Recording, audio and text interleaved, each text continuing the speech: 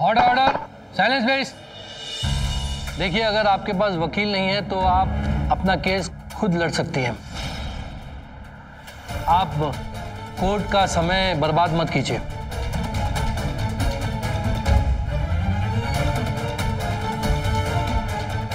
पर पर मेरे मेरे सारे सबूत तो मेरे लॉयर के पास हैं। इनके पास कोई सबूत नहीं है जज साहब। मैं चाहूँगा कि अदालत की कार्रवाई शुरू की जाए।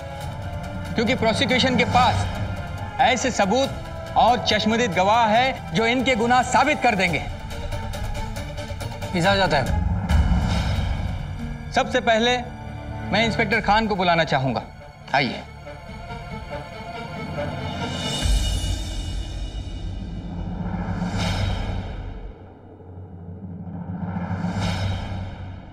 जज साहब हम जब होटल के रूम में पहुँचे तो ये औरत वहीं थी। और तहकीकात के बाद पता चला कि अक्सर वहाँ लड़कियाँ लेके जाया करती थी।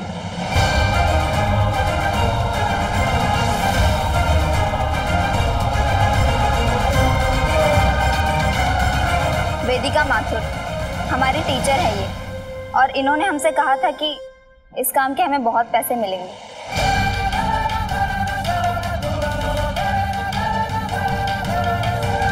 कब से चल रहा है ये सिलसिला? जी सर ये आई थी हमारे पास। छः सात महीने पहले। और कहने लगी कि हमारे पास स्कूल की लड़कियाँ हैं आप इनके लिए ग्राहक लाइए और हमसे पचास परसेंट का सौदा कर बैठे तो इसकी चिकनी चुपड़ी बातों में आ गए सर गलती हो गई हमसे। कुछ भी बोले जा रहा है ये जज साहब ये सब झूठ है। वेदिका बिल्कुल ऐसी नहीं है। ये सब इस औरत का किया धरा है जज साहब? पैसे दे के खरीद लिया है इसने इन सब कमीनों को। Order order. देखिए आप लोग बैठ जाइए। अगर फिर से आपने इस कोर्ट में ऐसी हरकत की तो आपको कोर्ट से निकाला जाएगा।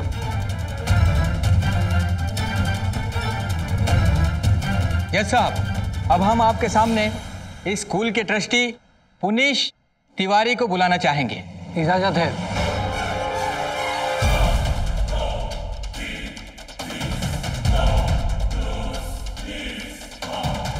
जैसा जैसा मैं इस बात के लिए शर्मिंदा हूँ कि इस औरत के मासूम चेहरे पर हम भ्रमित हो गए।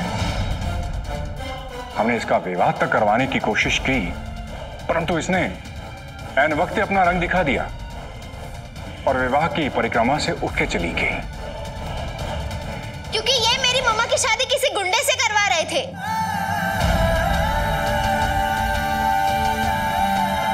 जैसा ये बालिका बिल्कुल सत्य कह रही है वो पुरुष ठीक नहीं था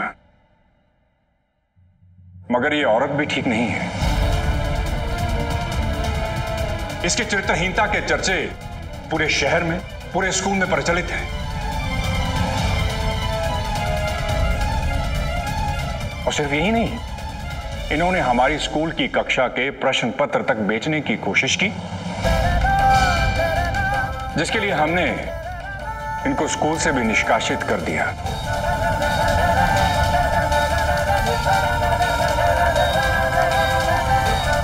जज साहब, ये सब झूठ है।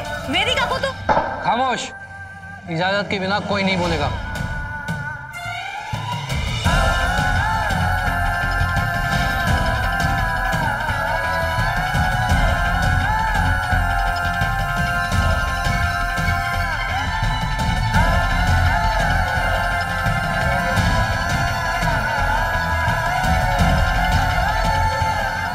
प्रोसिक्यूशन अब आपके सामने तीन आखिरी गवाह पेश करना चाहेगा जो ये साबित कर देंगे कि वेदिका माथुर एक चरित्रहीन औरत है। समाज के नाम पे एक कलंक है।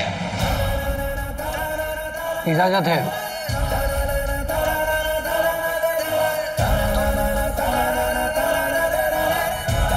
जज साहब हम हैरान रह गए थे। ये देख कर कि जिस बेशर्मी के साथ ये औरत अपने से आधे उम्र के लड़के के साथ चिपक चिपक कर नाच रही थी ना इसने सारी हदें पार कर दी थी।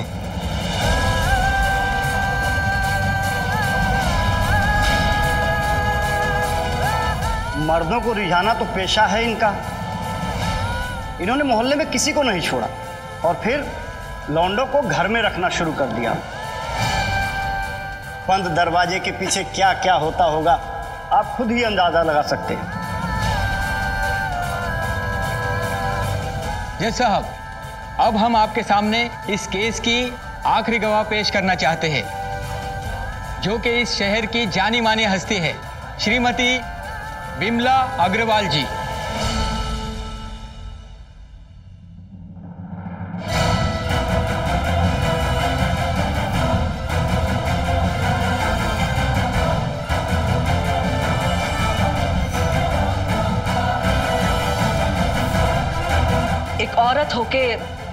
दूसरी औरत के लिए अपशब्द बोलने में हमको शर्म आ रही है। लेकिन दौलत के लालच में ये बयालीस साल की अधेड़ उम्र की औरत हमारे 24 साल के जवान बेटे को अपनी देह का लालच देकर उसको लुभाया।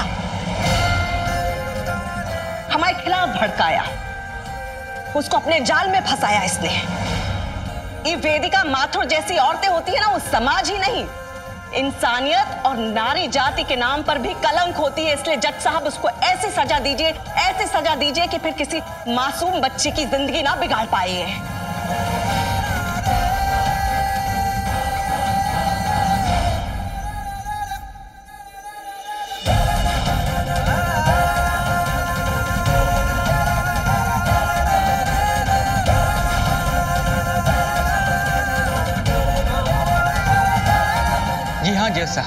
अब मैं इनके स्कूल के शिक्षक, छात्र और शहर के नागरिकों की तरफ़ से एक याचिका दर्ज कराने की इजाज़त चाहता हूँ।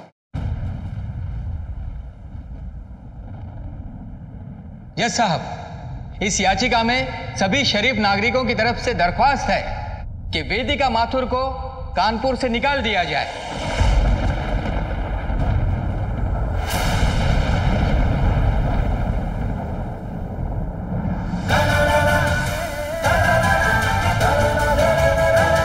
साहब इस शहर के लोगों के अंदर क्रोध भरा हुआ है। अगर इसे कड़ी सजा नहीं मिली तो शहर में दंगा फसाद भी हो सकता है। तो क्या आप कोर्ट को धमकी दे रहे हैं मिश्रा जी? नहीं जज साहब निवेदन कर रहे हैं। क्योंकि फैसला कोई भी हो इनके जुर्म के साथ इस शहर के नागरिकों की भावनाओं को भी मद्देनजर रखा जाए। कानपुर के निवासी आपके आभारी रहेंगे।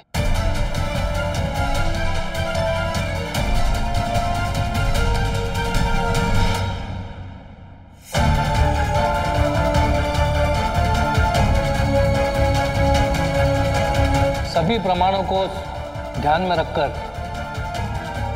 ये कोर्ट इस फैसले पे पहुँचा है कि वेदिका माथुर को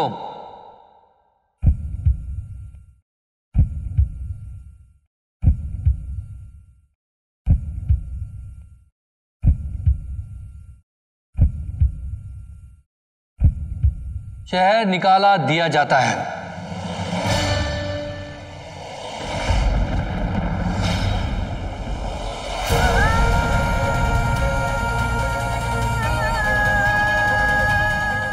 घंटे के अंदर ही उन्हें कानपुर शहर छोड़ना होगा। और फिर कभी भी वापस आने की अनुमति नहीं मिलेगी।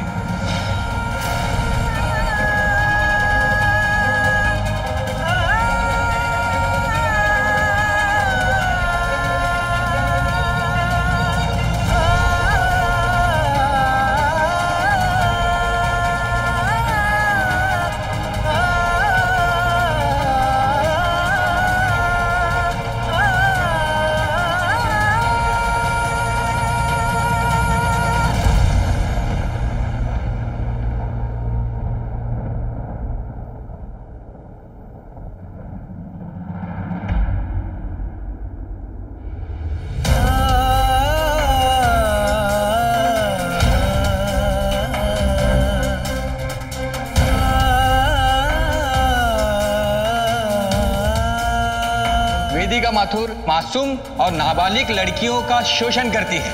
ये एक दलाल है जज साहब। इसकी चरित्रहीनता के चर्चे पूरे शहर में पूरे स्कूल में प्रचलित है। मर्दों को रिझाना तो पेशा है इनका। वेदिका माथुर जैसी औरतें जो है ना इंसानियत और नारी जाति के नाम पर भी कलंक होती है। वेदिका माथुर को शहर निकाला दिया जाता है। और फिर कभी भी वापस आने की अनुमति नहीं मिलेगी।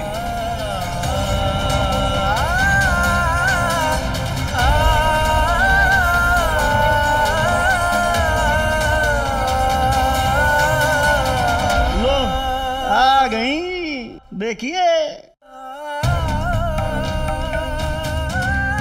चौबीस घंटे में तो निकल जाएगी ये। हाँ भैया कोर्ट ने इनको कानपुर से निकाल दिया है। जब तक रहेगी ना तब तक हमारी बहू बेटियाँ सुरक्षित नहीं रहेगी। अरे निकल जाओ मोहल्ले से। मोहल्ले का नाम खराब हो रहा है। अजी मैं तो कहता हूँ कि चुप कर पांडे। नहीं तो तेरा मुँह तोड़ दूँगी।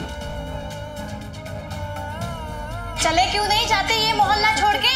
अजी ये तो बता दीजिए कि किस शहर जा रहे हैं। हम भी टिकट कटवा लेंगे। जितना हो सके जल्दी निकल जाओ यहाँ से। क्या है कि तत्काल टिकट 24 घंटा पहले न मिलता है?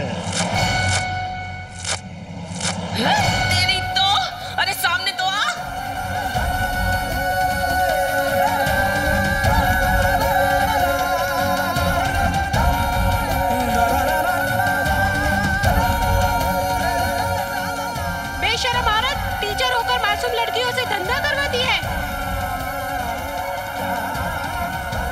निकल जल्दी मोहल्ले से। अभी तो टमाटर पड़ा है। इसके बाद चप्पलें बरसेंगी चप्पलें। क्या हुआ साहिल?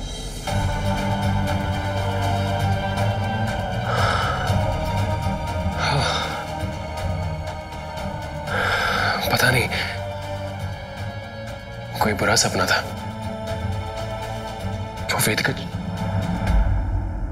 वेदिका जी उनको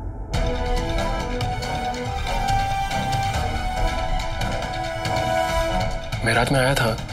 तेरा बीबी चेक हो रहा था, तेरी रिपोर्ट्स आई थी। पता नहीं मेरी आँख कब लग गई।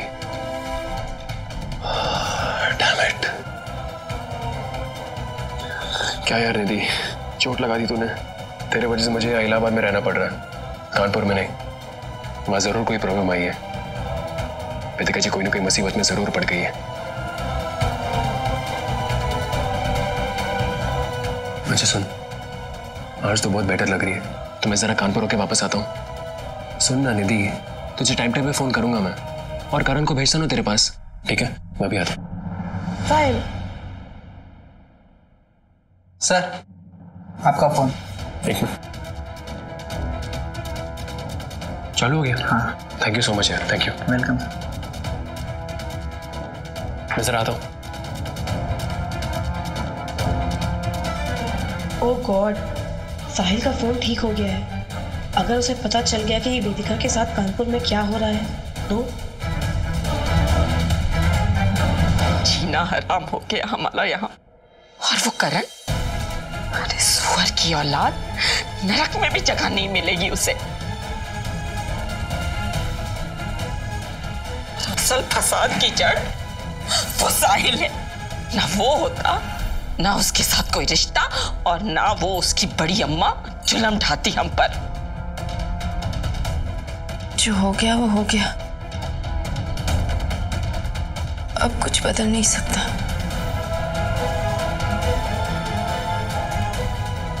हम कानपुर नहीं रह सकते। मम्मा मुझे पता है आपने कुछ गलत नहीं किया। मेरी मम्मा ऐसी है ही नहीं। अकेली औरत के साथ अक्सर ऐसा ही होता है।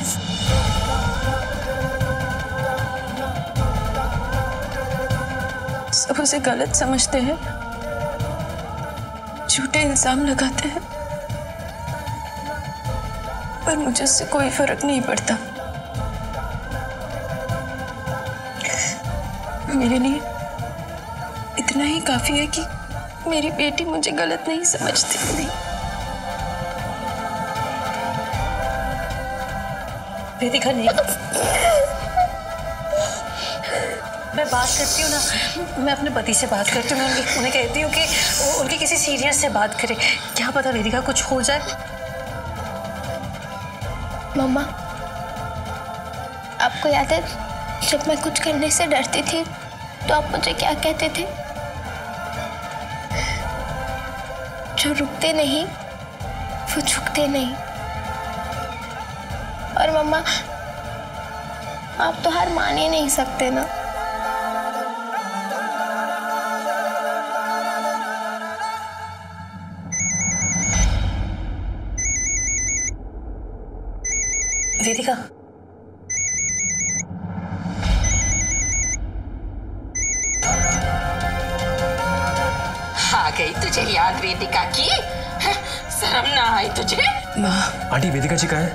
वो ठीक है ना? वहाँ सब ठीक है ना? ठीक है बच्चे। कुछ ठीक नहीं है। हेलो।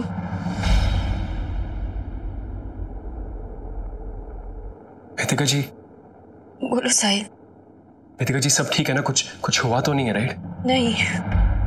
कुछ नहीं हुआ है। अरे इसको बोल उसे कर सब ठीक है। नहीं। आपकी आवाज़ कह रही कि कुछ तो गड़बड़ है। वेदिका जी आपने मुझसे प्रॉमिस किया है कि अगर कोई भी मुसीबत आएगी तो हम एक दूसरे को बताएँगे एक दूसरे की हेल्प करेंगे।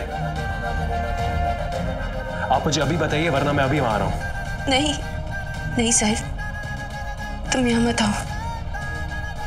मैं मुझे तुम्हारी ज़रूरत पड़ेगी तो मैं तुम्हें बुलाऊँगी।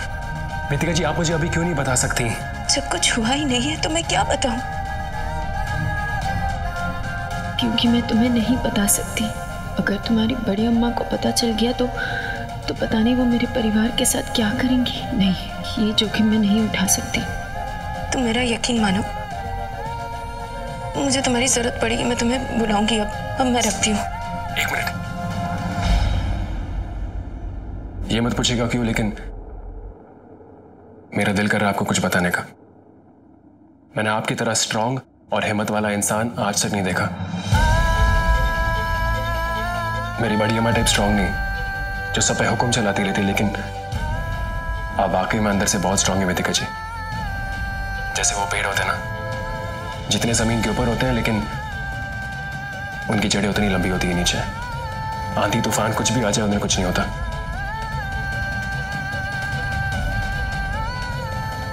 हेलो? वेदिका जी? सुन रही। ये बात अब कभी नहीं भूलेगा। प्लीज़। और एक और चीज़। मैं हमेशा आपके साथ हूँ।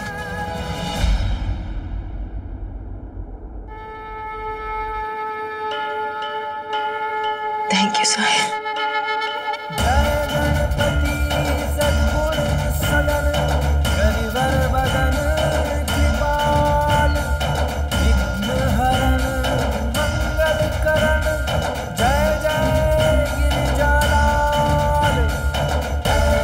सब आप ही का किया हुआ है, कि मैं वेदिका जी के पास नहीं हूँ। अब आपकी रिस्पॉन्सिबिलिटी है उन्हें प्रोटेक्ट करना। जो भी प्रॉब्लम है उनके लाइफ में, उसे आप ही निकालेंगे उन्हें। गॉट इट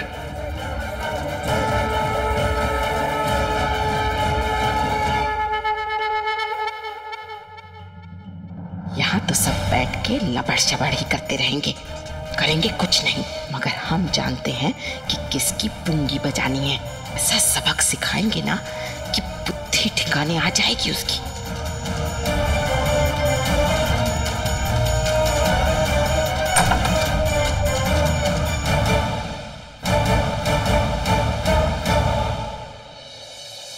घर का दामाद हो तो ऐसा हो। कायदे से आपने काटा तोड़ के निकाल भी दिया और फूल भी बिछा दिया हमेशा के लिए। अभी देवी का माथुर जो है ना, कानपुर से नहीं, साहिल की ज़िंदगी से भी हमेशा के लिए निकल जाएगी। बहुत किस्मत वाली है हमारी प्राची जो आप जैसा पति मिला है। दीपक, कुछ सीखो इनसे, वरना घर जमाई कम और दुकान के चाकर ज़्यादा लगोगे तुम।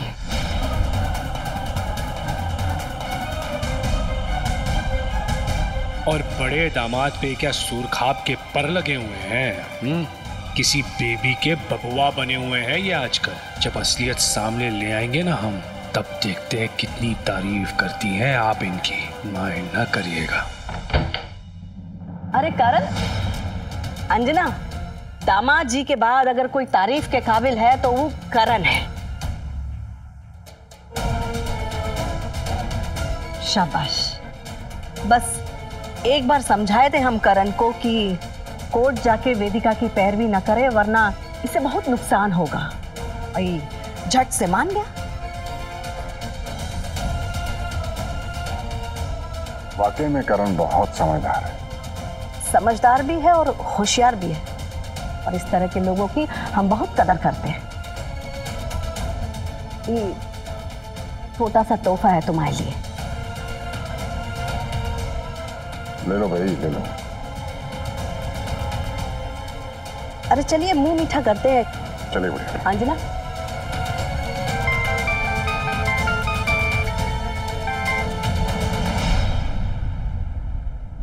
आइए। चलिए। आपसे बात करनी है। जी।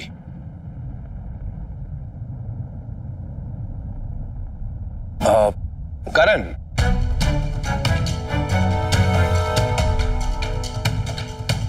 माइंड ना करिएगा। दाद देनी पड़ेगी तुम्हारी ईमानदारी की। हुँ? बड़ी अम्मा ने कहा और तुमने यूँ कर दिया। जानबूझकर नहीं आए वेदिका जी का केस लड़ने। वाह। दोस्त हो तो करण जैसा। साहिल बहुत खुश होगा ये सुनकर। उसका सबसे अच्छा दोस्त। सबसे बड़ा कारण है वेदिका जी को उसकी ज़िंदगी से निकालने का। तुम तो दोस्ती की मिसाल हो, करण। साहिल, शायद ही तुम्हें माफ़ करेगा। इस जन्म में तो हमें नहीं लगता। माइंड ना करेगा, वो क्या कहते हैं? कि अगर सांप को दूध पिलाओगे तो एक दिन ज़रूर डसेगा।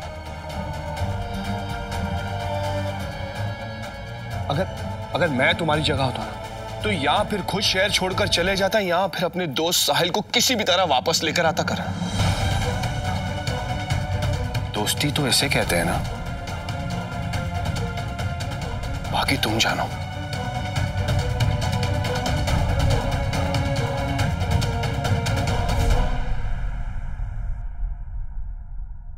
ये बड़ी अम्मा को वापस दे देना।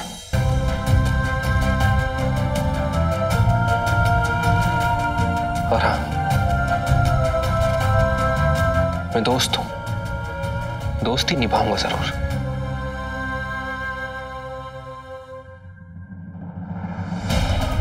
और मैं दुश्मन हूँ तो दुश्मनी निभाऊँगा ज़रूर। बड़ी अम्मा को ये ना ही पता चले तो अच्छा है। दीमक अंदर तक जाएगी। तभी तो जड़े खोखली होंगी इस घर की। माइंड ना करिएगा।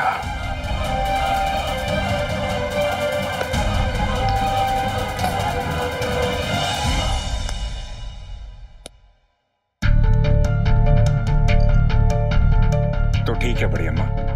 मुझे रुखसत होने की आज्ञा दें। कुछ और कार्य भी शेष है। अरे अरे आप आप कहाँ चल पड़े साड़ू साहब? होटल का कमरा कुछ ज़्यादा ही भा गया है आपको। एक काम करते हम भी चलते आपके साथ। हमें कुछ काम निपटाना है वहाँ। तुम कहाँ जाओगे? और वर्कशॉप से जो जेवर आ रहे हैं उसका हिसाब किताब कौन करेगा? हम?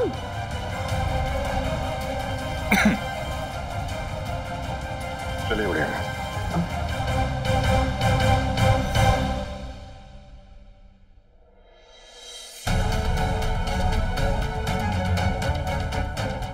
भाभी जी एक बात कह दें।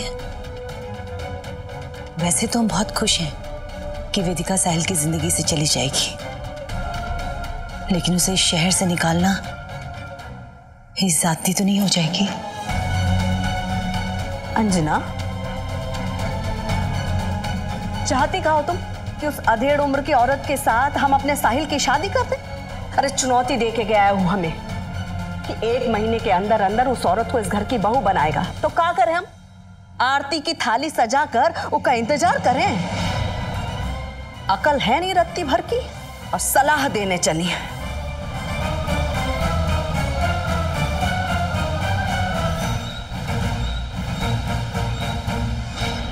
अबे तू क्या कह रहा है करण? मुझे ठीक से समझा।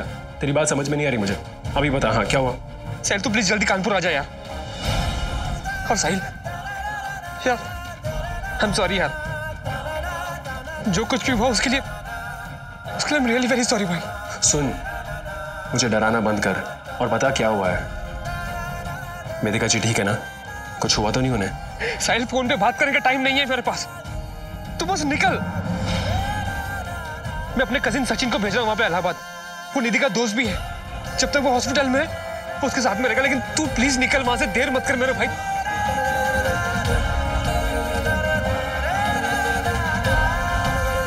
कुछ तो गड़बड़ हुआ है।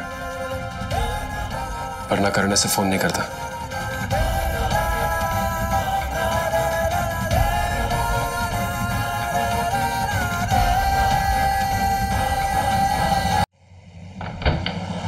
आप अंदर नहीं जा सकती माता जी ऐसे कैसे अरे रुकिए आप ज़बरदस्ती तो घर के अंदर घुसे चली आ रही अरे बाहर निकलिए। रही अरे इधर सामने आ मेरे। इक्का हंगामा लगा के रखा हाँ? चौबीस घंटे से कम बचे हैं तुम्हारे पास। चलो, बांधो अपना संदूक और निकलो इस शहर से। अरे हम शहर बदले ना बदले, आज तेरे घर का रंग ज़रूर बदलेंगे, और उससे भी पहले तेरे चेहरे का। अरे तू औरत के नाम पर धब्बा है, और वो भी डामर का। जो एक बार लग गया, मानो जम गया। ऐसी काले पोतेंगे ना तेरे चेहरे पे, कि ज़िंदगी भर याद रखेगी। अब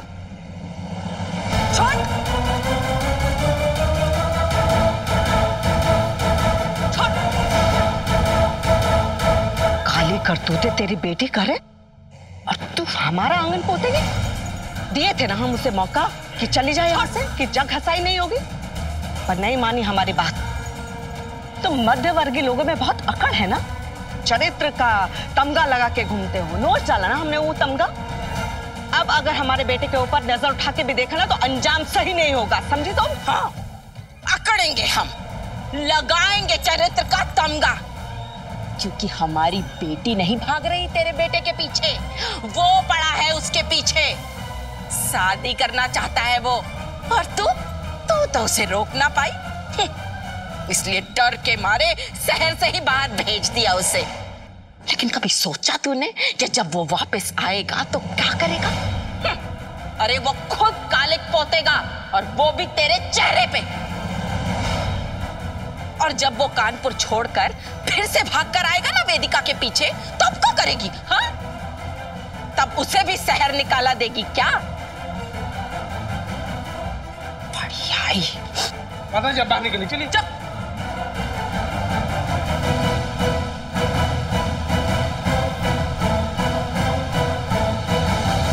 की रहने वाली ये अध्यापिका लड़कियों की दलाली करती हुई पकड़ी गई। शहर के जाने माने विद्यालय की ये शिक्षिका लो भैया वेदिका माथुर सुन लो। जा रहा है। अरे शिक्षक ऐसे होंगे तो भला छात्रों का क्या होगा?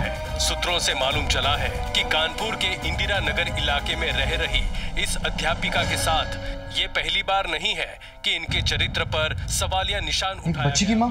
और ऐसा कांड किया? ऐसा ही है। जब औरतें घर से निकलेंगी तो ऐसा ही तो कुछ करेंगी। अरे ये क्या बात हुई? मेरी बच्ची भी तो स्कूल जाती है। ये रेडियो पे क्या न्यूज़ आ रही थी? अरे भैया क्या बताएँ? ऐसा घिनौना काम किया ये कानपुर की टीचर रानी ने। स्कूल के छात्रों का शोषण किया भैया उसने। नाम नाम नाम नाम का सुना आपने। भैया नाम ध्यान नहीं दिए हमने।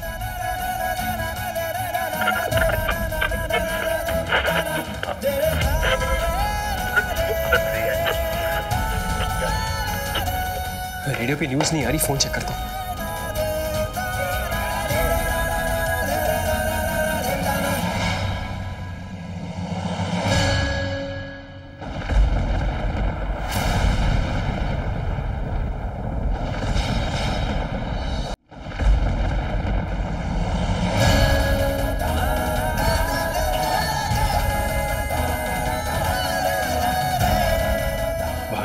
आपके साथ और मैं यहाँ आपसे इतनी दूर, इसलिए इतनी बेचैनी हो रही थी मुझे।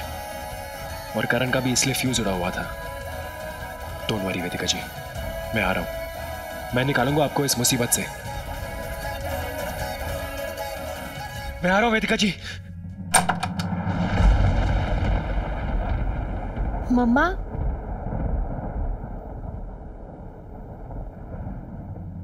मैं लड़ूँगी। मैंने आज तक हार नहीं मानी है तो अब मैं हार मान के क्यों बैठी रहूँ?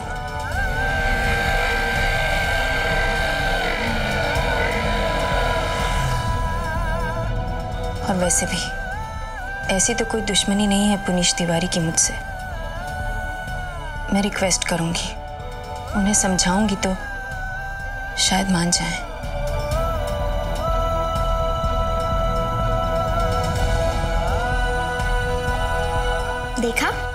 ये है मेरी मम्मा जो कभी किसी से हार नहीं मानती। वो क्या कहता है? जो झुकते नहीं वो रुकते नहीं।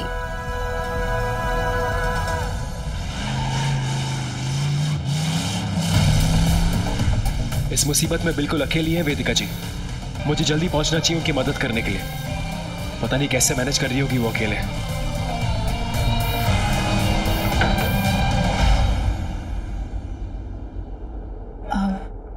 बहुत ज़रूरी काम है। बस एक घंटे के लिए जाने दीजिए। मेरा परिवार यहीं है। काम खत्म होते ही मैं लौट आऊँगी।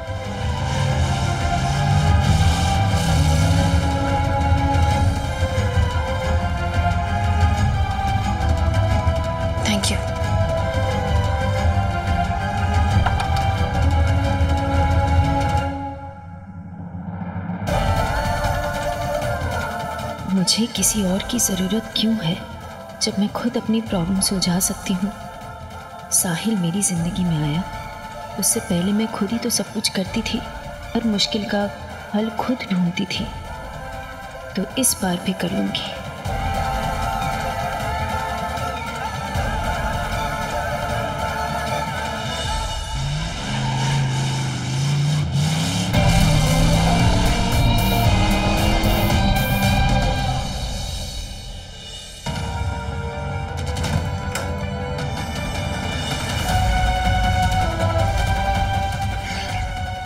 अरे जल्दी करो यार प्लीज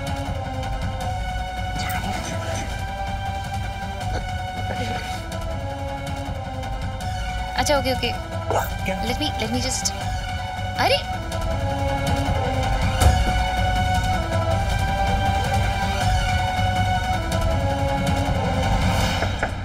आ जाओ पुनीश जी मैं